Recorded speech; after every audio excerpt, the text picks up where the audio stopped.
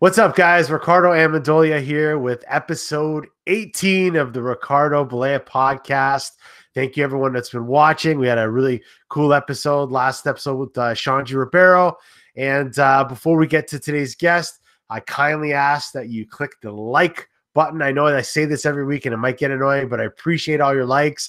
And also, if you have not subscribed to the channel already, hit the subscribe button. I don't know if I'm pointing to the right thing, but please do so please share the video and uh, let's get things rolling, guys. It, it's a great honor for me to have a, a friend of mine, uh, you know, a guy that kind of had some similar paths as, as, as mine, similar circles in the jiu-jitsu world. And, uh, you know, he's one of the owners and head instructors at Meraki Jiu-Jitsu. I'm talking to Mr. Jason Hunt. How are you today? Oh, man, I'm doing well. Thank you. As good as we can in, in these crazy times. So yeah, so I, I, mentioned, you know, you're in Meraki, you're in the Brentwood, uh, you know, uh, Beverly Hills kind of area. We, we mentioned a second ago you're down the street from the OJ scene, but uh, yeah, oh, down the street, yeah, down the street. Yeah, how how how has things been for you um, dealing with the Corona, dealing with some of the other insanity that followed? Have you guys been able to train? Is it training back? Like, what's going on at Meraki Jiu Jitsu right now? Uh, so we've been two days open for the guidelines of LA County. Okay. Uh, it's a very small class, so we're only allowed to have ten people at a time. So we've been going back and forth for a couple weeks preparing for this and trying to figure out what's best. And what we came up with the first two days, which uh, we got to change because it didn't really work as best we thought. So it's ten people, and we're only doing thirty minute classes. So the kids class is one hour, so they get 30 minutes, 30 minutes, so that everybody can get in. Fundamentals, 30 minutes, 30 minutes, and 30 minutes. So we have three 30 minute classes to make sure that everybody has their slot. And then the same for the advanced three, three, and three. Okay. Um, man, it, it, it was like, yeah, nobody really knew what to do, how to act, shut, touch, not touch, go here, maybe. And then two minutes after that, it was, everything in the air, everybody's training, grabbing each other. It was like nothing ever happened. And it's like, no, wait, we got to hold that.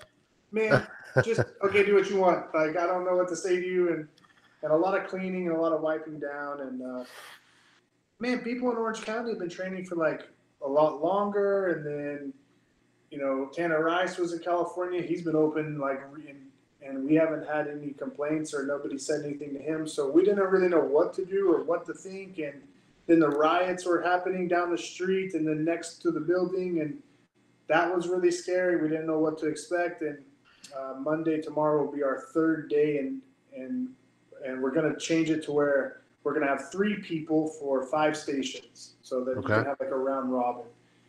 And uh, same thing, we did a lot of Zoom. Like man, Zoom was the savior yep. of the Corona, you know. Yeah um, which was great. So instead of doing class, we're just having them come in and working on what we went over for three months, and uh, and and we're just kind of letting them. And we're there to ask questions and stuff. But man, the guys are having so much fun. They're everybody's really out of shape. So it's just like get in there and enjoy yourself, have fun. Yeah. Let's come back to regular class when everybody starts to get more familiar and the restrictions start to light up a little bit, and we can somewhat get back to normal. And it's it's a every day is a different day. Yeah. With the corona, I think here in California. Yeah. Do you do you find that uh, even though the you know the class format has changed, that the students are pretty appreciative and stoked to be there, or are they you know kind of complaining, or what's the feedback been like? Man, nobody's complained. Everybody's really grateful, but everybody's also nice. really scared. And I, yeah. I'm scared also. So it's like, you know, I, I'm scared. You know, I'm nervous. I don't want to get sick, just like the next guy does. So I think everybody's. Some people were like really anxious to get back. Some people are being a little bit more cool, but everybody's communicating, which is cool. Like we have nice. our group that every student that we try to get into it is talking like, "Hey, how's everything? Oh, I'm sorry, I I have my grandparents or my wife doesn't want or."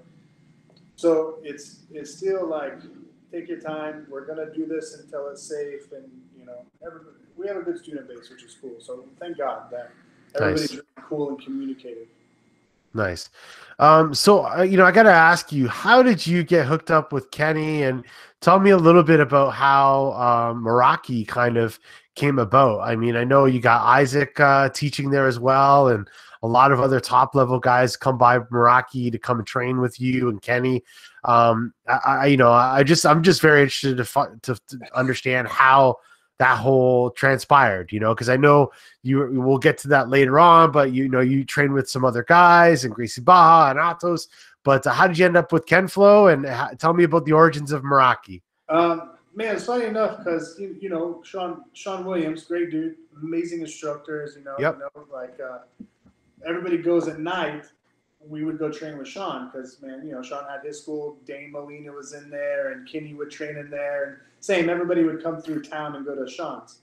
So on Wednesday nights, everybody would meet up at Sean. So me and Kenny would train and and see each other there. And I first met Kenny whenever we were at Anderson Silva's camp uh, for the very first Chael Sonnen fight.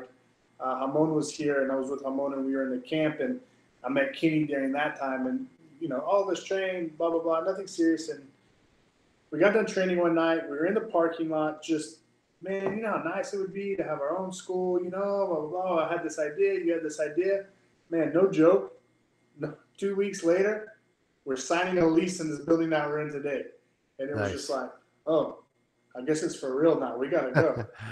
so um, that's literally how it started. It was just we just were in the parking lot talking. Um, you know, Kenny's Kenny, Kenny Kenny knows retired and stuff, and mm-hmm. you know, he really loves jujitsu, and and so we were just talking about how having the school talking about you know pure jujitsu and and not having it a political because he has friends, I have friends, uh, rather rather than opening a, a, a name of a team in jiu-jitsu like let's do something slightly different. Yeah. Or like studio 540 you know is kind of the um, inspiration.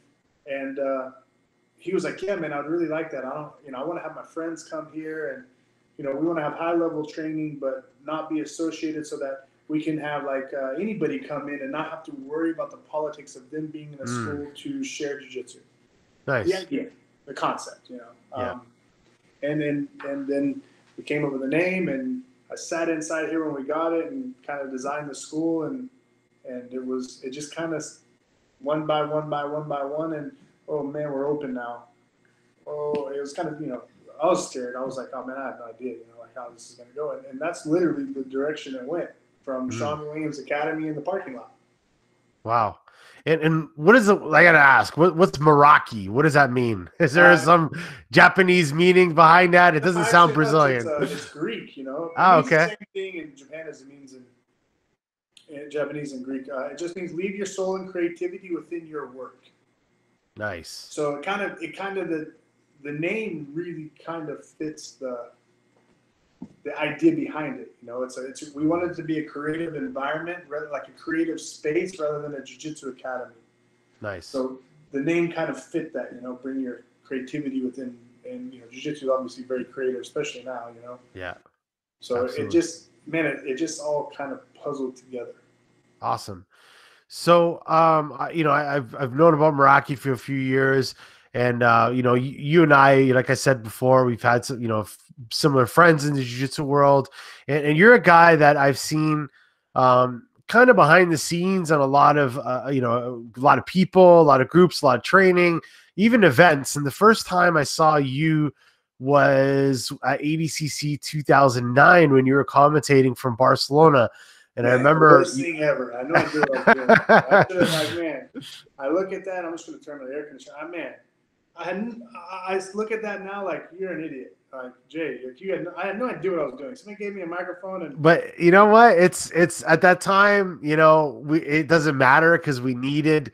Um, you know, we needed some insight. We needed some good commentary. There wasn't a lot of commentary like there is now. There wasn't a lot of, you know, higher level guys like there is nowadays. Um, and and I think you did a great job. But one of the things that I I, I really realized was like you had a lot of insight um, especially to some newcomers, which is like Rafa, uh, Mendes. You were, you know, I noticed you were talking a lot about Leo Vieira.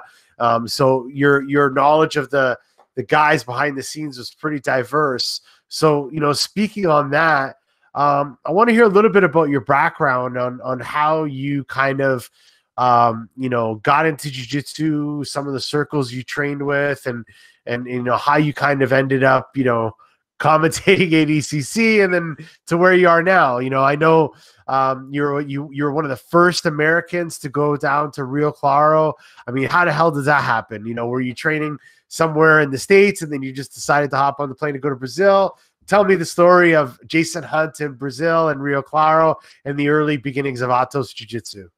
Oh man, so funny enough, 2007, you know, as the worlds came to to LA for the first time, it was really into America. And before that, as, as we're old, you know, yep. um, we were competing in high school gyms with wrestling mats, and you know, we thought we were good. Um, I had a really good friend that I was training with. His name's Jared Nathanson.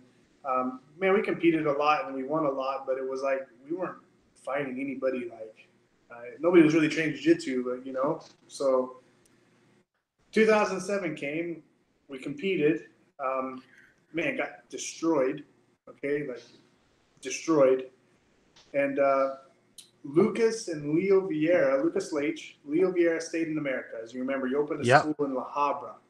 Yeah, I think that's Lucas's original school, right? Like, yeah, yeah, yeah. With Chris, Chris Franco, Chris, Chris Franco, the Ruka guy. I remember yeah, him. Had, had really helped out a lot of people. Um, so when that happened, it was like, man, I, I, I want to know what those guys were doing, you know, like mm. at Romulo Barral did a flying triangle in 2007, fake Koji to a, you know, the jiu-jitsu we've just never seen before. For me, yeah. never seen it, you know. Um, so Leo opened the school. I went to go take a private with Leo Vieira. Uh, it was amazing, you know. We trained with tennis balls.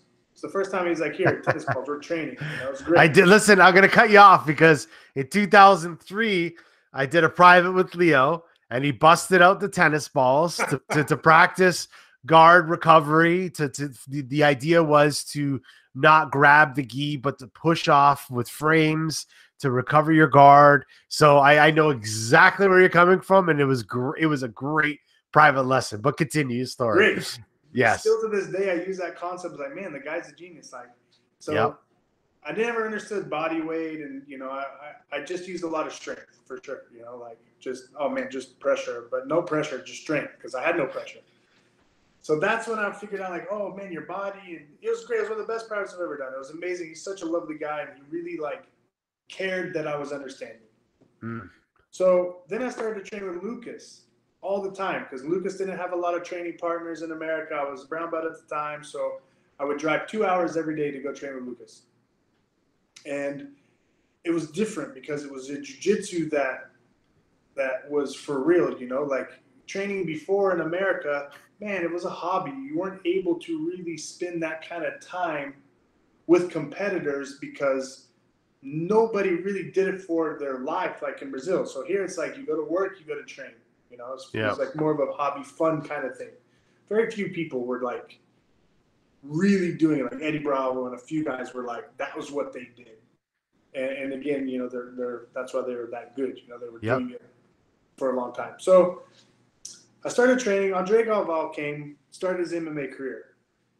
Rented a place in um, man, it's funny, a little tiny house. Sarah, his daughter, was just very tiny at the time, and, and Angelica. Uh, man, San Pedro. So I would go pick up Lucas to drive to, or go pick up Andre to drive to Lucas so that he could do his jujitsu training while he was training for his MMA. Mm-hmm. And uh, luckily for me, I formed a really close relationship with Andre because I was with him every day. I was picking him up every day, going there, trying to train with him a little bit, but it was not really me training with him. It was just getting killed, not knowing anything. Like you know, I really didn't understand anything then, if I'm honest with myself.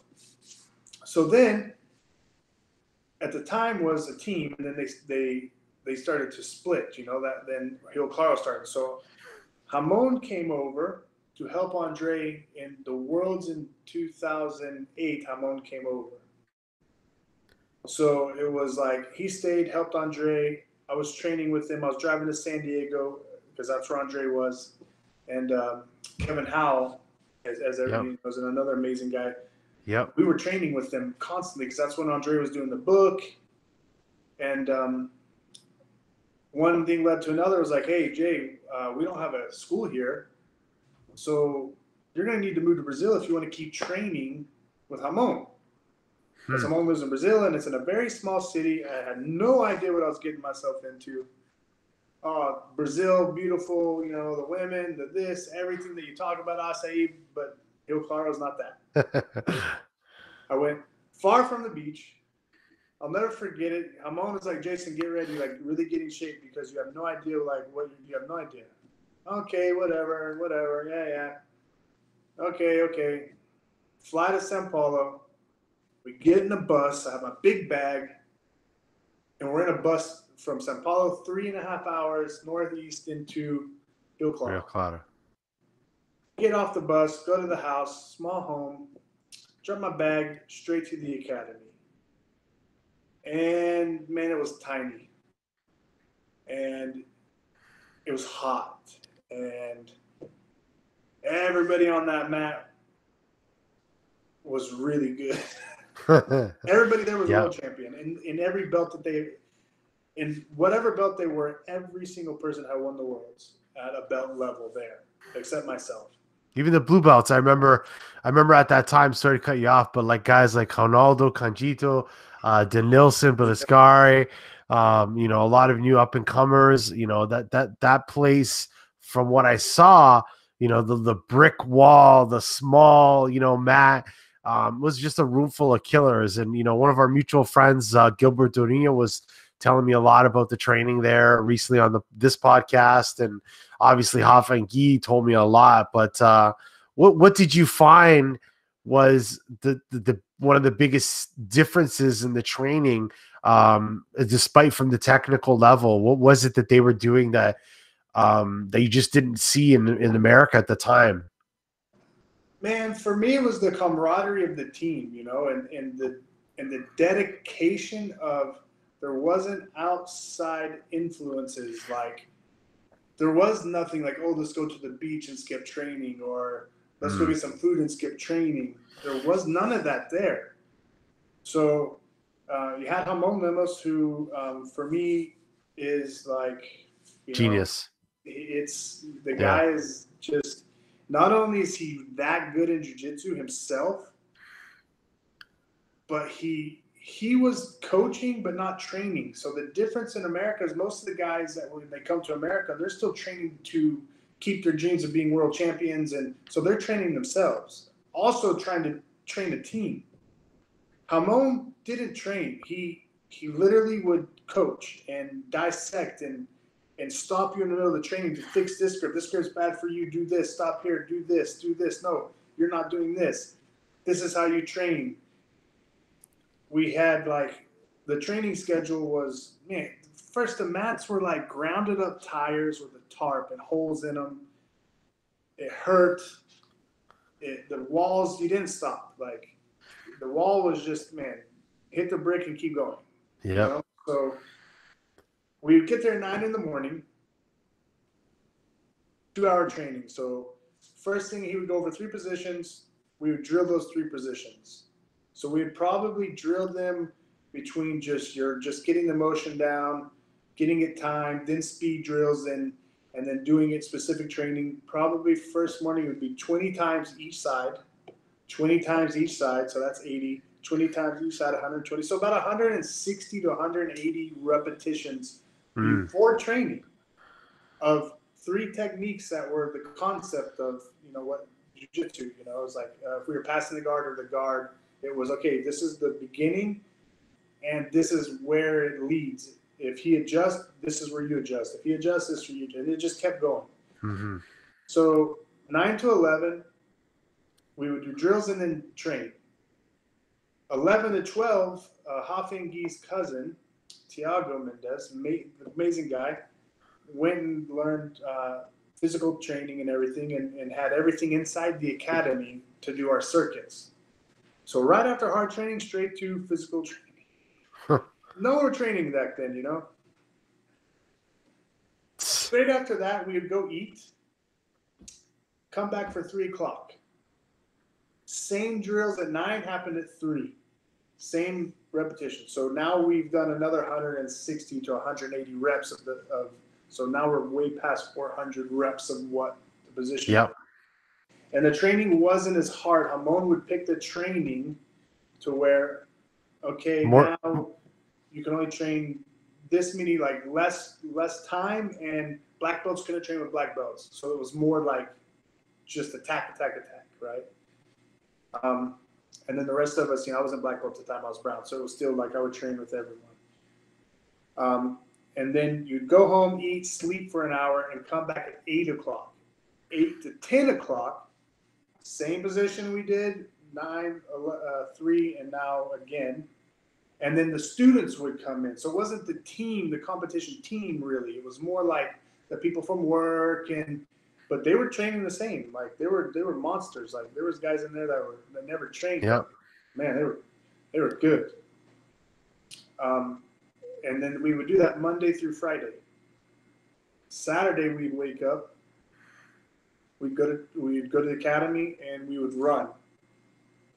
And then after we'd run, we'd all just sit in the academy, and that's where Wi-Fi was. So everybody would sit around and get on Facebook and you know start doing their thing. And then uh, Sunday was wake up, church, uh, barbecue, Nice. and then repeat. Repeat the whole week. That's- Yeah. And, and you know, you you one of the things you said was the speed drills uh, and just the drilling and the repetition of the of the techniques. That was something I know for for our end. Um, you know, you and I were kind of chatting beforehand, and I, I felt like um, learning from guys like Hafan Gi. You know, our, our academy is affiliated with Hafan Gi, and just being able to drill so much. We never. My friend uh, who owns the academy, PJ O'Sullivan and I, like where we trained before, we never understood the importance of drilling. We never really, we we we kind of saw it as a hassle, but we never saw the benefits because nobody had really taken the time to um, really demonstrate that to us. You know, we saw a lot of technical jujitsu and a lot of beautiful jujitsu that was that we learned from seminars and people coming to teach us. But as far as the drilling methodology, the speed drills, I still remember Gui, you know, yelling at us. He's like, drills but fast, drills but fast. You know what I mean? Like just constantly, like just a- and it's like you cannot stop, you know, and then it just you develop the speed and fluidity in your passing that I, you know, I, I just it's amazing. Like I feel like there was like, you know, I feel like in myself there was like different levels, and um, it's like when I started jujitsu, um, then when I first started training, you know, kind of regularly with a black belt, and then it was the Hafangi era, and then it's just been that era since then. You know, understanding. Do the same. I thought I knew jujitsu. Yeah. Hell, I went to Rio Claro. And, Yeah, And again, it's like the same. You know, the guys like Gian Hoffa, the and, and Ramon. You know, and I like to say this because again, my experience there was even with the drills, Ramon was fixing your man. You're doing the drill wrong. You have to do it right. It has to be like this. You have to move your foot, your hand right here every single time and do it very fast so that it's perfect and perfection constantly. Mhm. And and you can see it in Gui and Rafa. You can see, especially Gui. Gui is a Gui is precise. Like Yeah. he's a precision person. Rafa's more, you know, Rafa plays more, but Gui is just like perfect. Um, Yeah. But then Gui also gives that information for Rafa. So it's like a, you know, a lot of people don't give the credit, I think, where yes, Gui is a four time world champion, but he is also uh, genius. Like he's, he Yeah. studies like man. Even Rio Claro, we would train. He would go home and watch everybody's matches, and Wow. come back and be like, so and so does this. This is what I will do.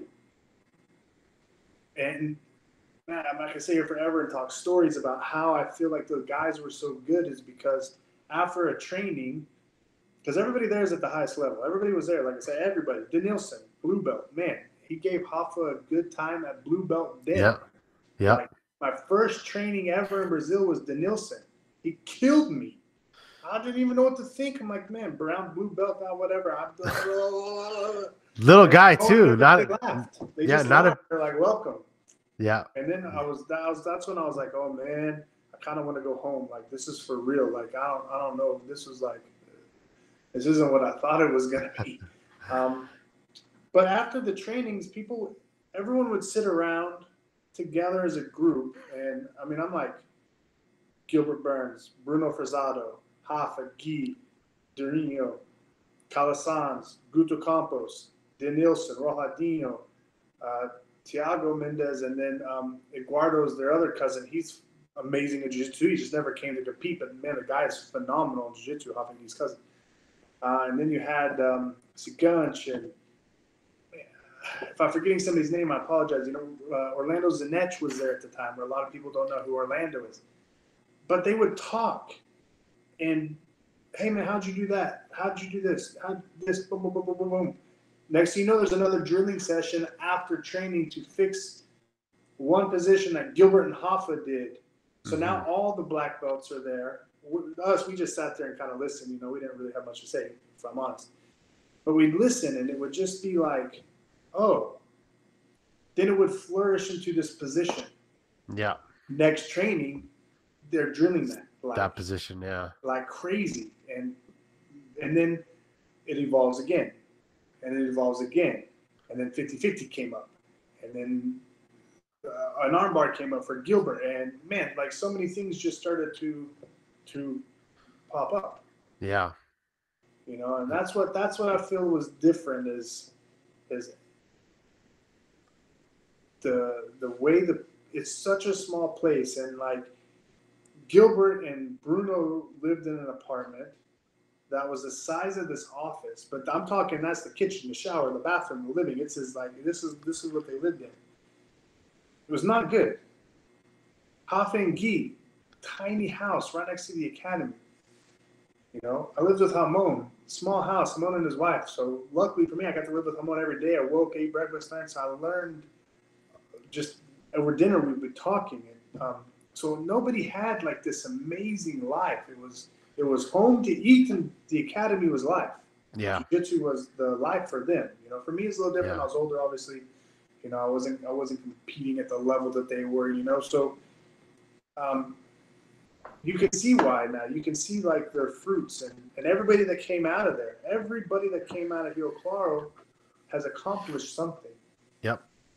And, you know, uh, and, one of the things I wanted to ask you was, um, you know, aside from the drilling concepts and the hard training, we talked about that. Um, what do you, what technical, you know, revelation do you feel that you kind of took from them? um, and, and, still kind of utilize this to this gate to this day because like a lot of guys know you as this like you know, uh, you're a very good coach in your own regard. I know a lot of top black belts come to you. So, what was it technically that they showed you? I know that speaking to Hafangi, one of the things that they told me was that Ramon Lemos helped them learn how to think about positions. What specifically do you feel like, or what position, or or how to think about jujitsu really rubbed off on you from that training environment?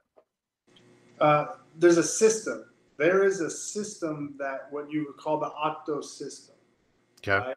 Um, the passing system. Everybody passes the same in Atos, really. There's a whole system, but the guards vary throughout the throughout the team, and that's mm-hmm. what I love about Ramon. Because Ramon, I showed up in Rio Claro playing half guard. I'm a bigger guy.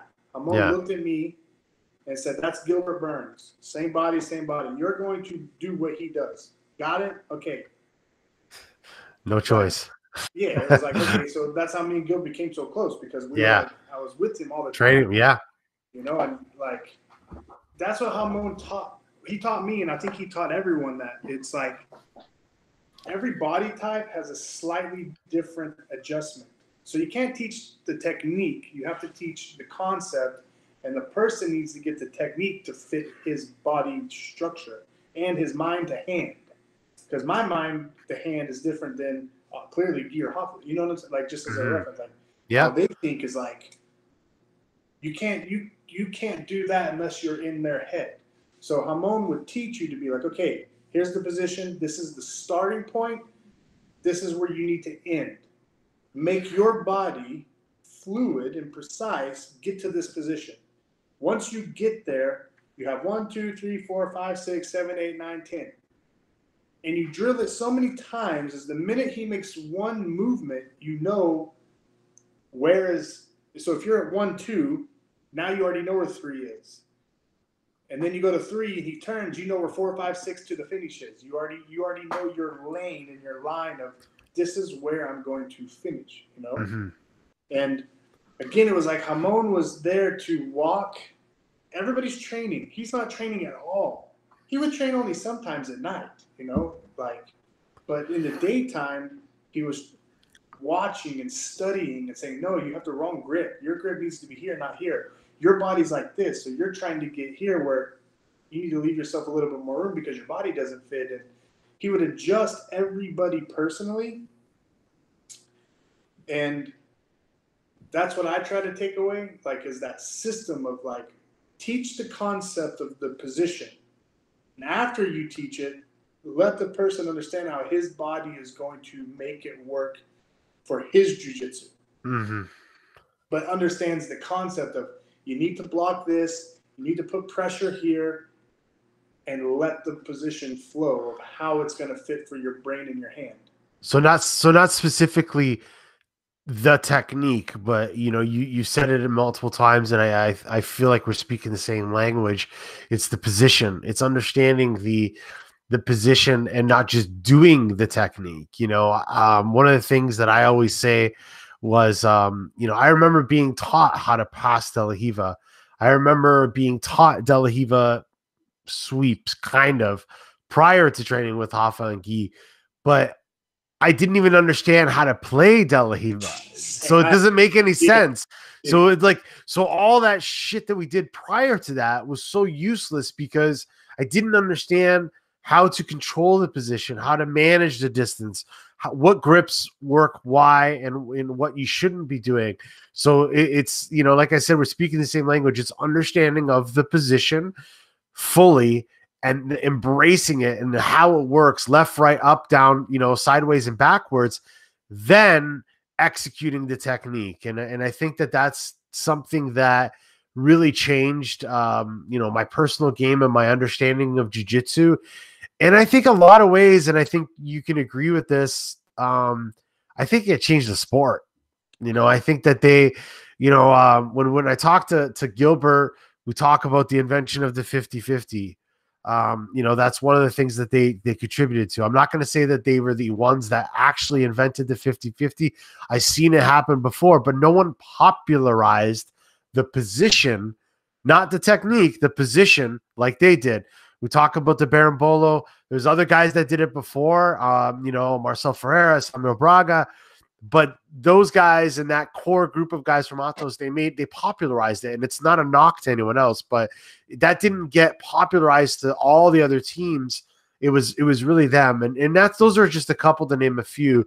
I think that you know what came out of there was was essentially a, a the next evolution of jiu-jitsu and um, it's amazing. You know, I, I I feel pretty blessed to have been um, seen it firsthand. I know you can you know attribute to that as well, and you know we both kind of picked off a lot of cool stuff out of there. Um, from Rio Claro, how where did you kind of end up? How did you end up coming back to the states? What was your next steps there? Um, well, I'll just add something for like when, when we talked about that. Yeah, this, sure. This what gets fun is like the 50 50. Yep. And there was days where the specific training was 50 50 50 50 50 50 and it, it was developed Ramon was like okay Rafa this is how you can be Cobrinha you're going to hold him control him. He's very fast. And you'll you'll get the sweep and you'll win. But during this one small detail after the specific training would come Gui would go study it. Ramon would study it. They'd come back Rafa would talk with Gui, Gui would talk with Gilbert, Gilbert would talk with Ramon, Guto Campos, Carlos, everybody would get in there and okay, well now you can start to turn to this. Now you can turn it into attack. It's not just a, a holding game. It's there's mm. so many attacks and um, a lot of play 50-50 now today, but the attacks that we were doing in Rio Claro, Alfred Gui never shown it. I've never shown it. Gilbert's never shown it. Frazatto, I was even talking to Frazatto about this. It's like you said, it's like all these positions yeah, other people were doing them for sure. But I don't think there was a room with that many top level people discussing it together as one group rather than, oh no, I'm doing this. Or it was like, no, no, no. The camaraderie of I want you to be so good You know, I want Gilbert, I want Bruno, I want even me. You know, it was always like the expectation of, man, I want you to get this so good so you win. And we Yeah. want you to win. I think that's what the difference was, was like that small room could man, five people, the mat's full. Know? Like but the the communication level of each other was the key of, of those positions really um, fruiting into different things, you know, like Gotcha. you know, just, just like the Berimbolo, it was like, oh man, the Berimbolo is just well, what if the guy does that? Yeah, but then this, and then another world champion black belt. Oh, but you forgot about this. Oh, you forgot about this. This guy would come in, and before you know it, it's like, oh, well, you can't do any of this because the guy will defend. Maybe he would, maybe he never would, but now there's like from one defense, they've come up with 15, 20. Okay, we got to drill all these now. Mm, So now all those defenses, Rafa's already drilled every single one of them. So if you go here, he has a defense for your defense. You defend this, he has another one, and then another one, and another one, and, and it just never stopped. The communication never stopped, gotcha. and and I feel like that's was like you know Ramon pushed for that environment, like yeah. Yeah. like teach, you know, like understanding of teaching. Because man, Rafa and Gui, fantastic teachers. Yeah. Bruno Frazatto, amazing teacher. Gilbert Burns, amazing teacher. Calasans, the list goes on. You know, they all like have such good. And I think Ramon really pushed that with everybody to understand that it can always get better. It can always grow into something else.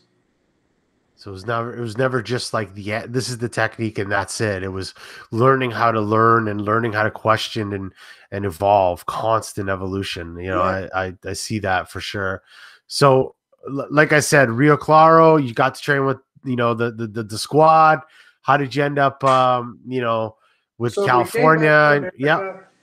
Um, Gilbert won. Gilbert won the worlds finally. Though the major goal, um, 2011. Man, probably the best day of my life watching Gilbert win the worlds was still like my biggest highlight. You know, it's like yeah, as you know how close we are. So it was like Yeah. that day, just seeing the work and the. So anyway, he won. He, I already knew once he won the worlds, he was going to MMA. There was, there, it was like I already knew as soon as he won the worlds by jiu-jitsu, he had said it. Man, I'm gonna fight MMA. So here we are. Gilbert won the worlds. We're back in America. We go to Ruka. We go to the Ruka warehouse, and uh, it's me, Gilbert, Hoppigi, and Bruno Frazatto. Um, I just went blank of his name. Um, man, sorry. Uh, you know, Gilbert Zach, No, it's like uh, Belfort. Vitor Belfort. Belfort's in there training. Yep. So we're going in there, Gui and Rafa, you know, Chris Franco's taking us in there, and you know, everybody's gonna get their Ruka stuff, and you know, you get to go to the warehouse. It's amazing. It was a great time. Like we all Yep. go like crazy, man. It was phenomenal. I still have stuff from that time. It's, it's crazy. Well, Gilbert's like, man, I'm gonna fight MMA. So right then and there, Belfort said, "Well, I'm in Vegas. Why don't you come to Vegas and you uh, and start training?" Okay. So I'm here now. Everybody's goes back to Brazil. I'm, I'm you know, I'm here now, and uh, Gilbert's got to fight MMA, and I'm like, oh shit, man, I don't really know what to do. I don't really, you know, um, there was some stuff that Gilbert and, and I were, you know, we were done with the team, and um, it was all about MMA now. It wasn't about jiu-jitsu, but Mm. man, I didn't want to fight MMA. There's no way. Like, if I had a picture, I'd show Gilbert's first time of putting on gloves, and we were beating each other up. It was a horrible experience. Um, so uh, luckily, um, I had a good relationship with Romulo Barral. And it just so happened that 2011, Romulo was opening Gracie Barra Northridge. Got it. Gilbert's going to fight MMA. We're in there training with Romulo. Um, it's a lot of fun. You know, the gym wasn't even open. Uh, it all kind of started with, uh, man, it's just funny. It's just some nobody knows about this. We were, um, it was Preguiça, Romulo, me and Gilbert. Uh, Philippe wasn't Philippe at the time. He was still like before Philippe. Yeah. So we go. Hom, uh, Romulo was like, man, I want to train with Gilbert. Gilbert was like, oh man, it'd be an honor to train with Romulo. Man, that training session was. Me and Philippe started to train a little bit with each other, and it was like, just watch. So we just Yeah, watched these two. Both of them won the worlds in that year. You know, so Mm, um, it was phenomenal. The training was great. I don't even want to say how it went, but Homo was a monster. And uh, we go home. At the time, right before all this, everybody is in my apartment. I mean, I'm talking the whole team. We're all staying in my room, in my apartment. So we go home. Bruno's like, "Oh man, I want to train with Homo." Okay, so we go before we open. Bruno trained with Homo phenomenal. Nobody trained. Everybody just watched these guys train. You know, it was great. Go home. Hoff and Gui were gonna go now. Like, oh man, I want to go train with Homo. So it's like all these amazing people at Homo, good to train, but um, for whatever reason, it, it kind of stopped and um, everybody went back to Brazil, and I was stuck here, and I didn't really know what to do. I was like, man, it looks like I'm gonna go to Vegas with Gilbert. Uh, um, but then Homo pulled me aside and was like, man, I'm gonna open this gym. You're here. I, I really like for you to be here to teach. Nice. Um, you know, you moved to Brazil, you can't stop. You know, like you, went through this process. You know, at the time, especially at the time, you know, nobody, none Americans were really living there, and, and, and I was the only one to be at, at Rio Claro at the time. So I was like, great, man, I'd love to. I'd love to teach. You know, um, the one thing that I feel for me personally is how Ramon made everybody a world champion, but he made me a really good coach because I Mm, lived with him. So I got to pick his brain and listen to him every day. So I feel like my coaching skills, because of Ramon, you know, he really taught me what you need to do to be a good coach, which is separate than being a, a world champion. You know, you can't be a great coach and a world champion. It's like some of them do it, but it's like to really like create something like that. It was Ramon was taking the time to man, I'm going to dedicate my whole life to coaching you guys, to making sure I give you a hundred percent of of everybody needs a coach. Golf pros have coaches, you know, Yeah. just to help them and you know, oh hey, I'm seeing it from a different eye. I'm back here watching you. I can help you with oh man, you keep moving your foot here, just adjust. And, you know, there's so many things. So man, thank thank God, Homo gave me a job, and, and that's when um, Gilbert went off, and obviously you know he's fighting for the title now, so that worked out for him great, and uh, it worked out great for me to, to teach and and to give all this for Gracie Barra Northridge. nice. You know, That so was got- that. Yeah, that you know that was my inevitable next question is how you ended up, you know, coaching and and everything like that, and you kind of gradually answered it for me. But how? Um, I know you're you're also pretty renowned and, and known for being a a judo practitioner and a you know high level judoka. Was that something that you were doing prior to jujitsu, or was it something that you kind of did to kind of complement your jujitsu afterwards? man, before it was like my closest friend, Chad Estes, his stepdad, Tim Joe from Japan, married his mom, moved to a small town, like kind of like Rio Claro. I grew up in Texas, like Cowboy, Texas, man. What part of Texas? Amarillo, Texas. Amarillo. So Amarillo came Keith Herring, Evan Yep. Tanner, um, Paul Bontello, gold medal Olympian um, Brandon Slay, the Dodging twins, uh, four-time national champions in wrestling. Uh, man, so many great, so many fighters came out of this because there's nothing to do. And I mean, it's like Rio Claro. It's- I'm in the country. It's a, I'm a Yeah. country boy. Um, so after school, we go to the town. It's like it's called the Dolphin Club. It was the pool. We had to we had to go to the pool, but Tim Joe had to, he had a small judo academy. So we were forced to go there every day. So that, I started with judo when I was a little kid, Mm, and okay. we did it, and it was always like, oh man, ah, ah, man, Tim Joe was mean, man, like full on like true, like man, he was a world champion, five time world champion, you know, and, and, he was also a gymnast. So today he's 82, and when he grabs you, Wow. you're like, I'm good. He still has grips like, and he'll still get out there and move with you and stuff. So it's quite, it's pretty amazing. The guy is, the guy's great. You know, he was great for keeping us out of a lot of trouble, but at the same time, it was, oh man, we really have to do this. Like, come on, man. Like, I just want to hang out and go swim and and just you know do what kids do. And um, so we did that growing up, you know, and and whenever we got old enough to realize that there was other things to chase, uh, we kind of kind of forgot about judo, you know. And um, then Carlos Machado moved to Texas, Mm-hmm. and that's where jiu-jitsu started because he was in Dallas, and it's only a quick drive to Dallas. And Lobato Jr. was there, um, Travis Lutter was there, Yep. played Pittman. Um, man, a lot of guys. Uh, James Brown, this other guy who's a black belt from Carlos. A lot of really good guys came from Mhm. there. So we were like, well, let's go train this jujitsu stuff. And it was more exciting than judo at the time. Obviously, it's way more fun and fast paced. And and again, we didn't really take it serious. We just started training, and it was fun. And then we'd go back to judo here and there and move. And you know, we were competing and stuff. And um, Carl Geis was a guy who's uh, a lot of people from USA Judo know he's amazing. He passed away, and when that happened, it was just kind of like, eh, like eh, whatever, you know. And then life happens, and I ended up moving to California, and then you know I got back into it, and so so, so judo's always been like between me and you and this podcast, judo's still my favorite. I love judo. I mean, I love Wow. if um, I, I, should have should have one one regret that I have is I should have taken it to I should have went the route with judo that I did with jiu-jitsu. I should have spent my my whole time in judo just because um well I don't know maybe I'm lying you know I don't know I can't really say that because jiu-jitsu has very been good for me also you know I've got to meet so many people but um, that's where my judo came from. So Do you-.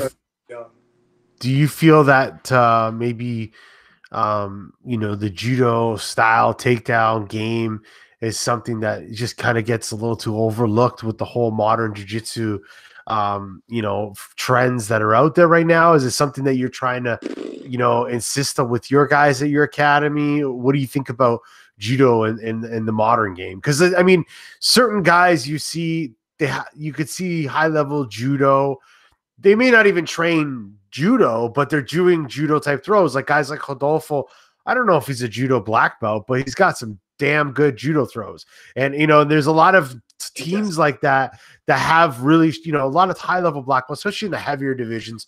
They have some strong judo. You know, Xande's a guy that's been training judo a long time. Um, but it's something that you don't, you know, it's it's once in a while you see it still there, and a lot of times it's it's just quickly pulling De La Riva. So uh, you know, what do you think of? weight, isn't it? I think it's the weight. The heavier the guy, the Yeah. less they want to pull guard. Nobody wants a heavy guy on top of them. And, and like when we do, when we talk about Saulo and Xande, is they they don't just train judo for jujitsu. And they train with Flavio Canto. They they were Yeah. training judo. So and they you know, I spent a lot of time with Travis. So it's like they understand the gripping of judo, which really helps for jujitsu. So I don't really try to teach the guys, you know, like we have a big judo program here. You know, we have Hugo Legrand, my friend from France. You know, he's an, he's an Olympic medalist, one of the best 77, 73 kilos, sorry, in the world. But we don't, we, what I teach the guys, even when they're pulling guard, is the idea of winning the grips. So the grip sequence in judo is super different than jiu-jitsu, you know, because you, in jiu-jitsu, you have time to fail. Yeah, In judo, you don't have time to fail. You have to grip, move, and go because that you have one attack, and if that attack fails, that person knows, oh, I'm going to defend this grip, and his kazushi will be off the rest of the fight. So the opportunity is dropped. You have a few different guard passes. You have a few different sweeps off the same. You can change grips a lot, but in judo, it's like you need to control sleeve and collar and move, you know, like Kazushi and stuff. So winning the inside grip, for me, what I teach the guys from my judo background is making sure you win the inside grip so the grip will always win no matter what the position or concept you're going to do. Beat the grip. Like a lot of times you don't necessarily need to break the grip. You can beat it with the better grip and move around that. So Mhm. you move your body to the grip rather than trying to get a different grip for your body. So it's like win the best grip, your best. This is your grip. Have grip strength. Understand the grip strength's not from your hands; it's from your back. It's not from your fingers. You know, not letting your arms extend because then you don't have strength. Your your grip comes from your lats. You know, to control. And um, winning that, and once you win that, now they it's hard for them to gain that distance because you have a inside grip. If you're on the outer grip, it your elbow is going to be in the wrong spot. You can't stop that. So as soon as you win, look, you have this ability to open the elbow. Now they're weaker, defend their grip. Now they can't set up their grip, and then you can start moving your body. So I like to use my judo knowledge to help them understand, like, win these grip wars. And now you're already in a more successful position to win. So I don't really throw big throws and stuff because, as you know, if you want to be like doing big throws, man, you know, your uchikomis have to be 500 morning, 500 in the afternoon, another 500 at night to get the timing, you know, so it's, mm-hmm. it's different. But, um, you know, like if you look at uh, Saulo, man, Saulo has an Ippon Seoinage that's like, yeah. And he's very patient about it because he understands I'll win the grip. I'm going to set up my body and I have one time. One and it's done, you know? So I have a really good Deashi, so I set up everything off uh, the kumikata. So it's like grip fighting. So I set every all my foot sweeps, and everybody know I foot sweep. Probably everybody I've ever trained with at least once, and it's it's off the grip. I get you off the grip, beating you with the grip. You know, so I, I feel like that's where the judo comes from here in the academy, and and it's so nice because Kenny, man, Kenny has a closed guard from the old school days. is like phenomenal. Isaac is as technical as they come with a beautiful guard, and um, my strengths come from takedown and, and being on top, you know, with the system. And um, I feel like everybody needs to know how to do a takedown so that because you can score off of it, you know, understanding like now the way the rules are, one person pulls instead of playing this double guard pull. If you stand up, it's like, oh, I can use my judo to make him pull, put myself in a good spot, mm. so that I have success for transitions. I don't know if that makes sense at all, but yeah, no, no, I, I, I, mind kind of. Listen, man, I, I get it. I'm geeking out here, and I'm, you know, loving every second of it. Um, one of the things that I, you know, obviously you mentioned your judo, and you're, you know, you're on top, and I think a lot of people know you as a, as a really good, um, having having a really good passing game as well. Um, so it's a two part question. A, did it, you know how much of that came from Ramon, and B do you have like a general philosophy on passing that maybe is kind of unique to you or just like a general philosophy on passing in general that maybe uh, is a little different than than the average person? And it's like we said before a lot of people they you know it's it's more you know they focus on techniques and they just keep layering techniques as opposed to positions and understanding what the person's doing on body and their position. So you know, like I said, two part question. A, where did a lot of your passing come from? And B, um, what's your kind of general philosophy on passing, you know, kind of generally speaking? Uh, everything came, all my whole jiu-jitsu of today came from Claro. So okay. Uh, it came from Ramon. A lot of it came from Gilbert, you know, like, which came from Ramon. A lot of it came from Gui. How, how do you do this? And, you know, and, and Gui being there to really help and Rafa and, and you know Calasans is really good passing too uh, in the academy. But the the whole system, you know, so like you said, like man, my, my philosophy is thank thank you for the guys for really opening my brain of don't teach a pass. You know, so like my DVD mm. for BJJ Fanatics is like it's it's that it's um, I look at it as a geometrical system. You have a round you have square, and then you have a triangle. A lot of times you can go around, right? So you can pass from far, middle, and close. Yep. And then if you look at it like if you're fluid and the guy's moving a lot, you have to get your body and move like a ball, you know, and pass. A lot of times the guy's guard's so good, you need to be like square with like a lot of pressure, hold, hold, hold, and release. So then you have a round square. And then sometimes like Leandro Lo, for me, it's like very triangular it's like cutting straight through. So what I try to teach and, and what I really think about jiu-jitsu now, it's like when you move, move as one whole entity. So your hands aren't for passing, your body is. Your hands for attacking. And I learned that from Ramon Mm. Right? And from Hoff and and from Gilbert. It's like you need to transition. So if my hands are going behind as I'm passing, my transition is not going to be there.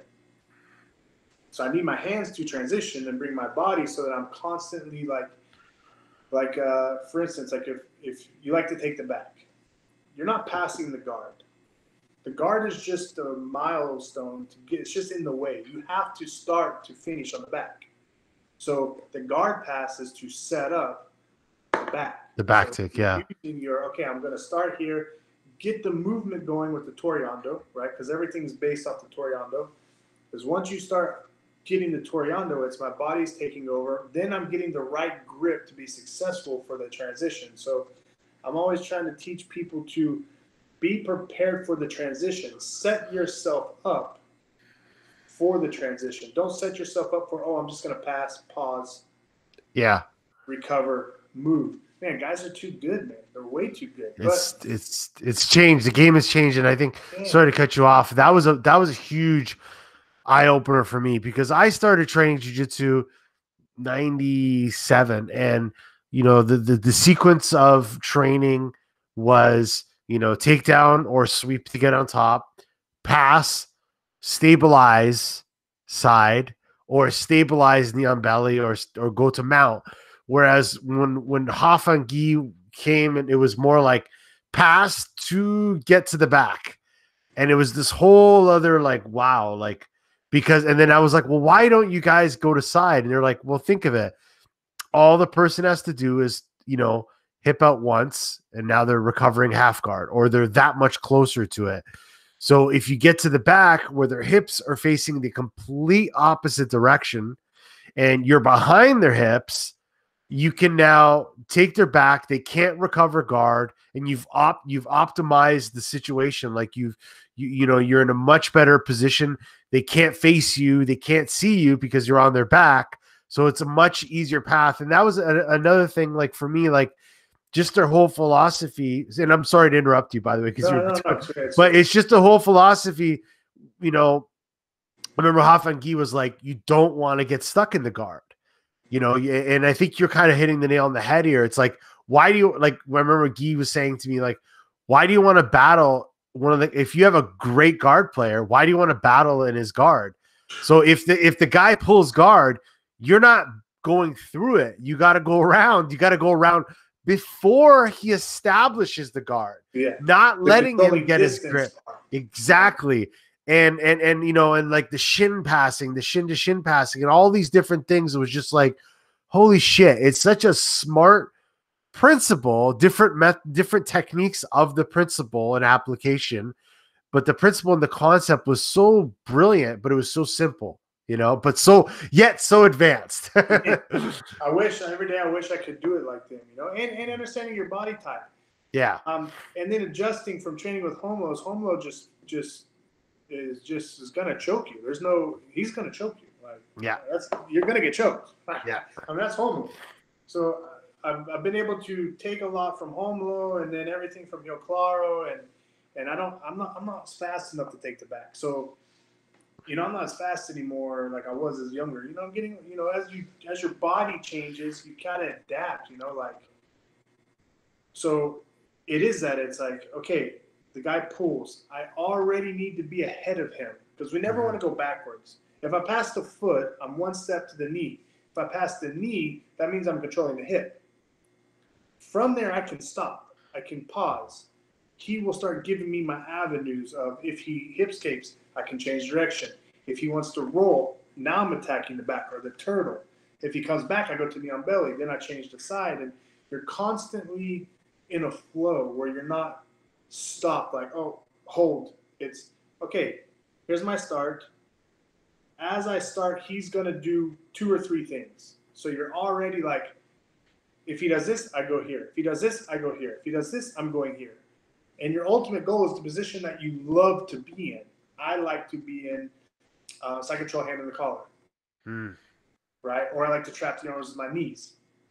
Where Rafa or Gui are going to be, man, I'm going to pass. I'm going to make you turtle because that's the only way you can escape. But I'm already ahead of you. I'm already, yeah.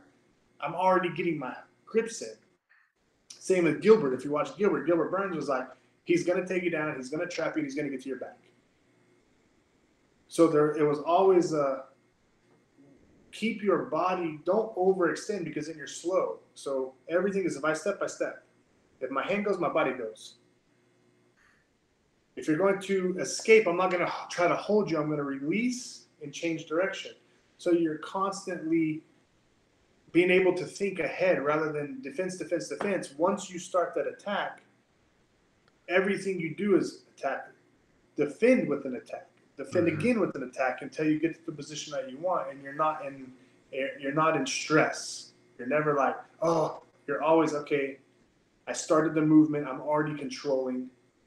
Now he's gonna get into my system, and and I feel like that's what Rio Claro is like.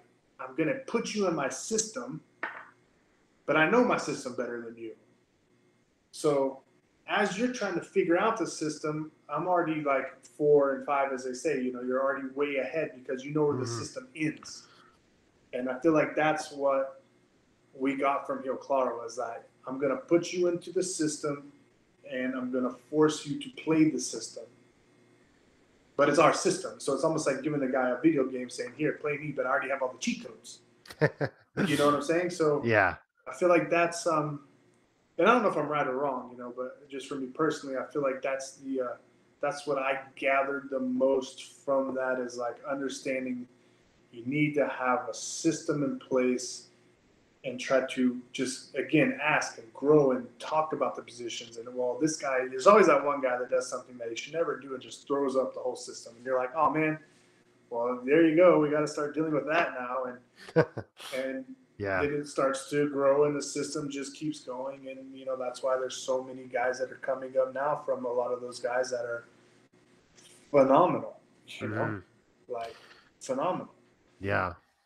So um, one of the things I wanted to ask you is it's it's something that uh, Vitor Shaolin said. You know, obviously he's an OG, one of the you know greatest of all time, and you talk about the system that you teach. And one of the things that Shaolin said was, you know, students nowadays are learning jujitsu in the worst time ever. Not the coronavirus time, but in the TikTok generation, you know, walking into jujitsu with the cell phone, with TikTok jiu-jitsu, YouTube jiu-jitsu, Instagram videos. And it's great to have all that accessible information, but nothing really substitutes, you know, the, the time on the mat and the exploration. Like, you know, for yourself, you know, you went to Rio Claro to get on the mats with the best guys. You didn't just watch an instructional.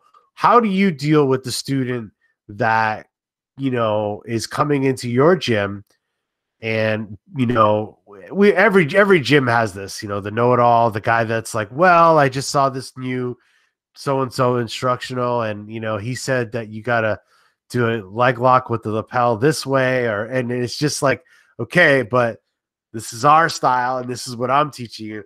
How what what do you think about that statement about like the whole TikTok generation, and also how do you kind of deal with with those guys? because um, it's a question of as myself as a coach, yeah. I've had a couple of those guys, so I ask everyone like, what do you guys do, um, just so I can give them good responses, you know, and good advice back. But uh, interested to hear what judo. And this is what I love about judo and the IJF and the way it's yep. structured is you don't see these guys. You don't see the highest level judokas in between rounds with their phones. You don't see that because you're training at a, nat- a national training center with a whole national team with coaches and doctors, and it's very professional. So there's no phones anywhere. So I use that a lot as an example as as guys, and I have it in the rules. I don't want to see your your phone's not allowed on the mat. If it's on the mat, I'm gonna throw it out. Like this is time for you to get rid of your life and to put that phone down and, and get yeah. get something out of it. If you compete or you just do it for fun, it's that's that time to be with camaraderie. Like um, and and uh, and when I talk to competitors, and, and I like to say this is I was like, if you look at the generation, uh, we'll take Saulo first. Saulo's a what six time world champion. Yeah. He wasn't worried about his phone and Instagram. He didn't care. Still doesn't. He still, still probably does. Xande has won over and over and over and over. Then you have Romulo. Then you have Andre Galvão. You have that generation of guys who, who, if it wasn't for them, we wouldn't be where we are today, in my mind. Mm. So now you have all the guys today. Not, none of them are really winning like your division for six years in a row or being in the final six years in a row, like Andre, Romulo, Xande, Saulo. Yeah, good Like, point. and there's a reason behind it. Is there were like they're not worried about their phones or their it was their work ethic. It was man, after you won the world champion, the next day you're training for the next world champion. So when I look at these guys today and they're young and it's like, okay, in between rounds you want to fix your hair and take a photo, it's like, man, nobody cares about that right now.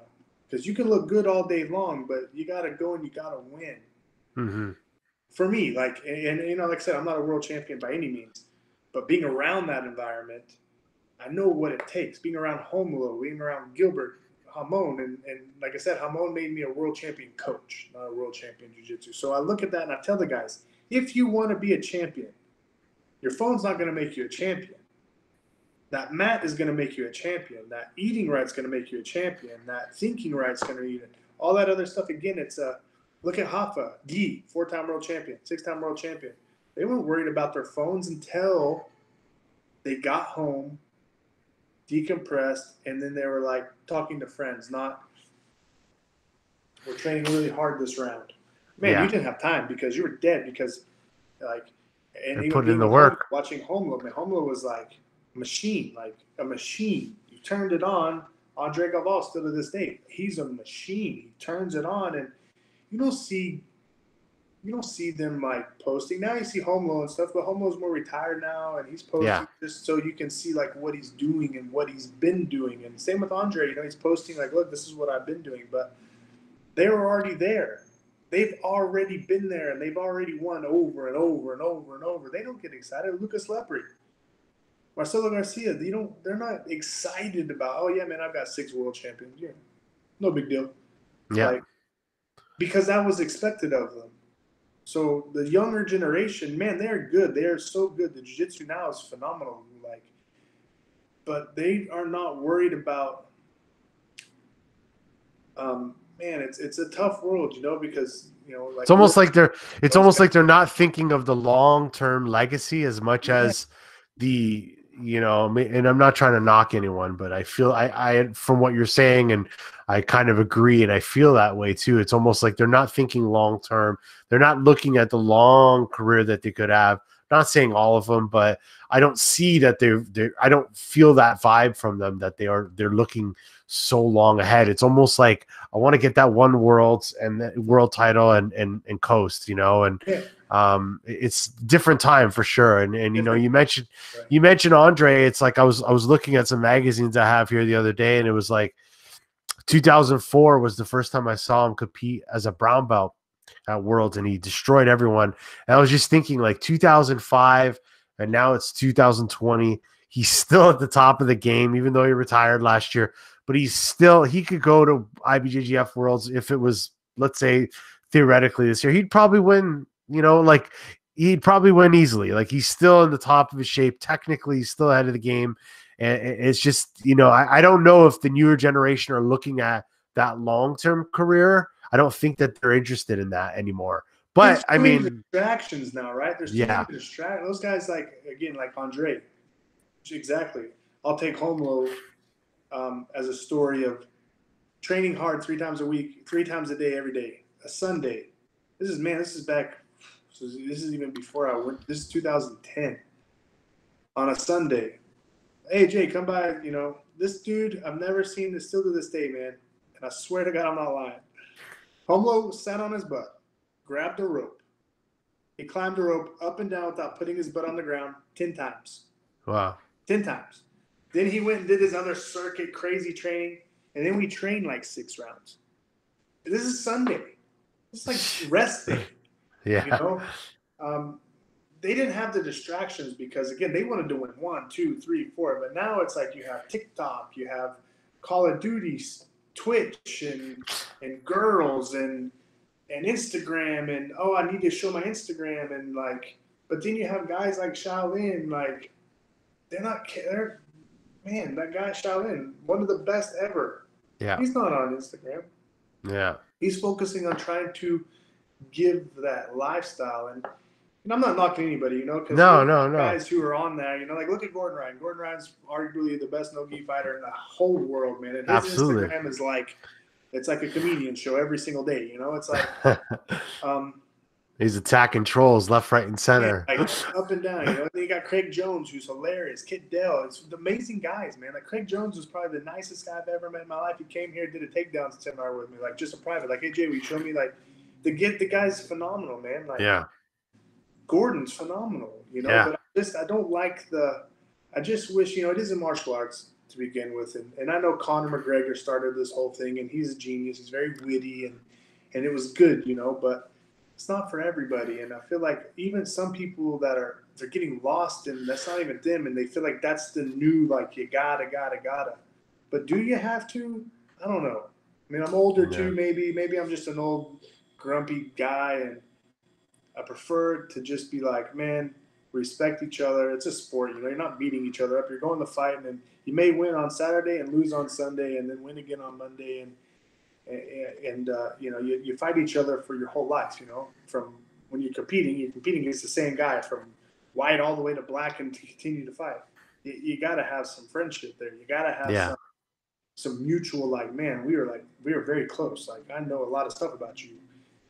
Um, I, and I like that. Like I miss that. Like uh, when it was like nobody's talking. You know, everybody's. I, we need to kind of go back there to build more. For me personally, to to get the kids that are coming up, you know, like some of the guys from AOJ, you know, you don't hear them talking. There's some of the they're, they're going to be the next, you know, like yeah, you know, there's a few guys in there that are man, you don't hear a peep from them No. they are unbelievable. Um, you know, guys from Atos, guys from Alliance, guys from Gracie Barra. I mean, there's so many guys that that aren't in the limelight, that aren't because they're not doing that. I feel like they are getting overshadowed, but like, but man, they're good, you know, and, and Yeah. I kind of feel like they don't need to be pushed and but it's a double edged sword, you know, like you need that. And Instagram is the new world. You need that to promote yourself. I mean, look, man, I don't promote myself on Instagram. I just got one when we opened the gym and I barely got like 3,000 followers and I don't even know how to work the dang thing. And look at this computer. we try to get on here. I had three different computers going. I'm, oh, man, I don't know what I'm doing. And maybe I'm just living in a dinosaur world and, and, uh, no, you know, I, I think it's I think it's you know times are changing and you know, but again, it's like kind of like you said, like at the end of the day, it is still a martial art. Uh, I, I I I do believe that you know, um, even I remember Edwin Najmi said this best is like you know the, the the baby that doesn't cry doesn't get fed. You know, so I think as a fighter, as a professional fighter, if that's your career, if you want to make money from super fights and all this other stuff, I think you got to do something.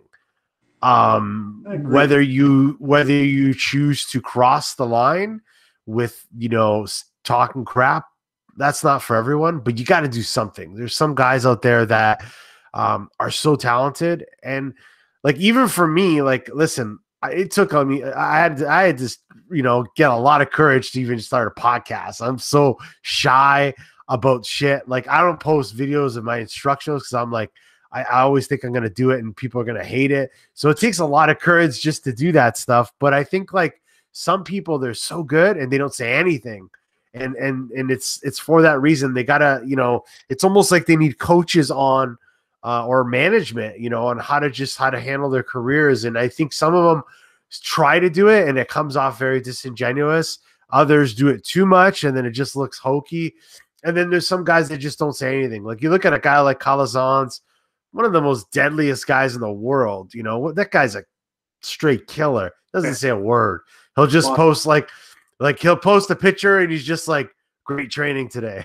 you know what I mean? And it's Yeah. not to knock him, but when you talk is- to him, but that's him. That's him. Like he's a quiet guy. He's not You know a. crazy, you know. Riccardo, is like people forget that. And that's what I love about Edwin. You know, I've known Edwin since he was 15 years old. You know, Edwin started a, a blog before blogs were cool in jiu-jitsu. Yeah, Like, uh, what was it before the what was it, man? best of BJJ. best of was- BJJ. Man, I was Yeah. Edwin Najmi at 16 years old, Yeah, training.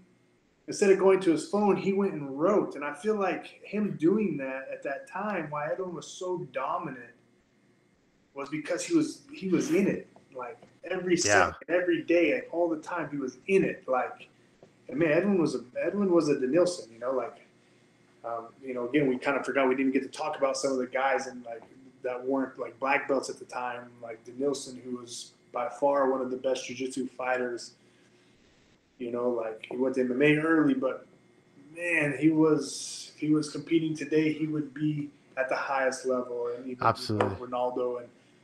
Um, but Edwin, you know, Edwin was like that. I remember he would train and go and get on his computer and start talking about best of BJJ and studying everybody, watching videos, and and then he stopped, you know, and then he got onto social media and yeah. Um, but he, he was he was one of the that kid. He was man. That guy knew everything about a computer. I remember all the time. Everyone help me, please. I have no idea. What what is that? Oh, Jay, you're crazy. Just hit that button. No. you know, yeah, so, he was he was very um, like I said, he was one of the guys taught me that expression, and uh, you know I remember seeing him compete as a blue belt, and and you know maybe in the beginning he let his actions on the mat, you know, uh, speak for him, and they spoke volumes. You know, he had a lot of fast submissions. You know, before I remember, he was really big into ankle locks and toe, you know, and, and foot locks back in the day. Uh, and then the flying triangles came, and then you know I think as as he kind of got up to the ranks, then he started to be a little more vocal out there, and you know he's one of the guys that um, you know he he does not disrespectful at all. He does a lot of you know branding and puts himself out there a lot on social media, but it's in a pretty positive way. Yeah, he I don't really see bad really bad. No, unless you attack Edwin, Edwin's yeah, he's not coming back. He's not. No, he's that's not his style. Can be, man. He, yeah. Unless you personally attack Edwin, then Edwin can be pretty nasty. Edwin, Edwin can be pretty mean. You know, like yeah. a little like a little feisty when some of the guys have, have attacked him and stuff. And uh, yeah. But if you don't attack Edwin, man, he's he's a great dude. And he's, he's a chill guy. He, he he's he's the guy I'd like to see more of that. Like Edwin promotes himself very very well. And, yep. And again, the sport is obviously getting way more professional, right? It is getting professional. The guys are making money that was never around four no. five years ago, you know, like yep. at all. So now maybe it is where they do need some managers and and people kind of controlling their path because they do need that. They are young, you know. You got to think where some of these guys are like in their early twenties, you know. So yes, they are very young. Know, Gordon Ryan is not very old if you think about it. No. Man, freaking, the guy's a, like phenomenal, you know. And he's um, doing financially, he's doing amazing too.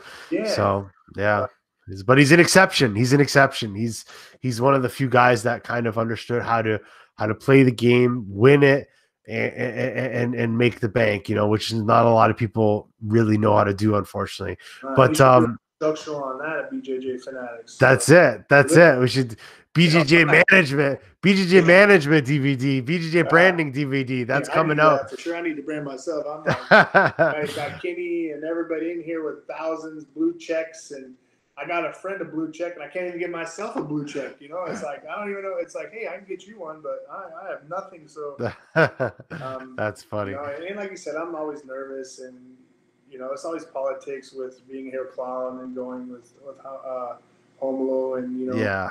I finally did a DVD, and and I got to give credit. You know, I, I didn't. It's not me. You know, like I got that information from these guys. So it's like I got to give these guys the credit. You know, I got to give Ramon the credit because if it wasn't for Ramon, I wouldn't even have this information to even share with people. And um, and that's like where my DVD kind of whenever I was asked to do one, it was like, oh man, I'm you know, this isn't even mine. It's like I was taught this, and I'm going to share it, but go to aoj.com and you're going to see stuff from like famous guys, you know. So it's hmm. kind of like sometimes it's a little like hard to. I know the information, but I never won a major tournament like that. You know, I mean, I'm a third place guy, and every the worlds I've been third place, and Pan Am's I've been third place, and judo I win, but for some reason jiu-jitsu I'm third place, man. I'm a loser. Nice way of saying you're the loser, but um,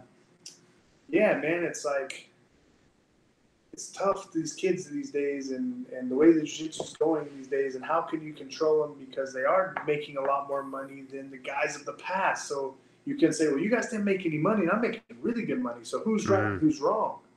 You know you can't really yeah it's hard to say. who's right and wrong because it's maybe the guys now are right and the guys then weren't doing and they should have been doing or maybe the Saulos and the guys who really helped this this you know and Ramon and Shaolin and boy, you know, all the guys from that time, you know, uh, Margarida, the guys that forget yeah. margaritas anymore. I mean, Comprido and Pé de Pano and Chumpo and Jacare. People were Yeah. I mean, come on.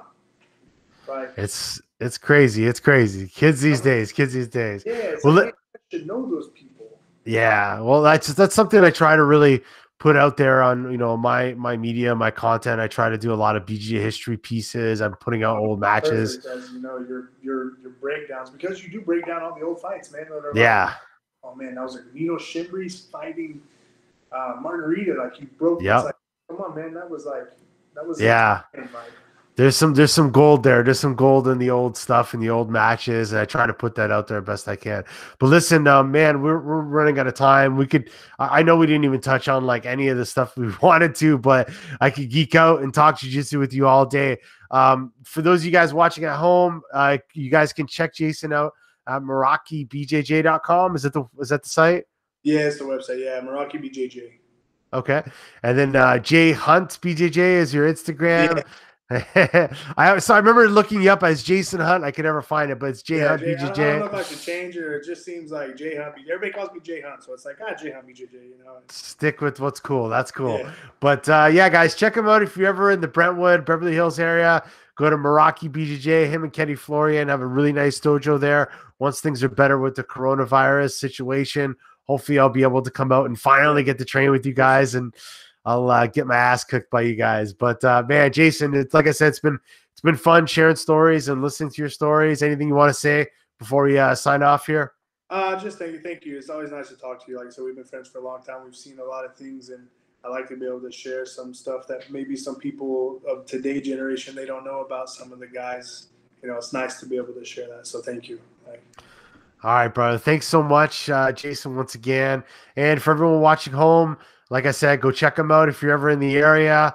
And uh, thanks for watching. I'll see you guys next episode of Riccardo Baleia BJJ podcast. Take care, guys. be safe, guys.